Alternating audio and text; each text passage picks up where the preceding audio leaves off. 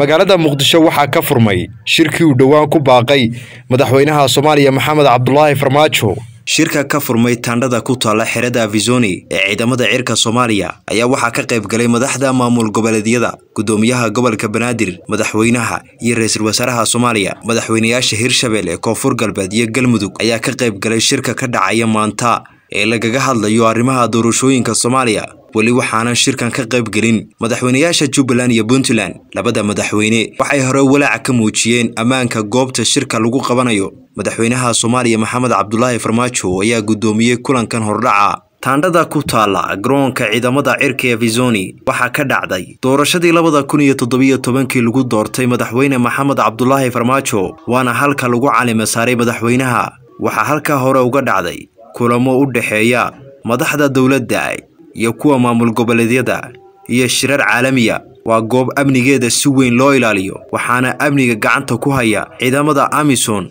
oo ku sugan halkaasi tan iyo markii ay tegeen soomaaliya. Waxay ku taallaa xerada xalane ee saldhigga u ah ciidamada nabad ilaalinta amison badiba xafiisyada qaramada midoobay iyo safaaradaha waddamada reer galbeedka. Qaarkood ayaa ku yaalla shirkan ka furmay maanta magaalada muqdisho ee aan loo dhammayn ayaa lagu wadaa in si toosa lagu soo gabagabeeyo maalinta beriya. Ridwaan salebaan carabsaan t v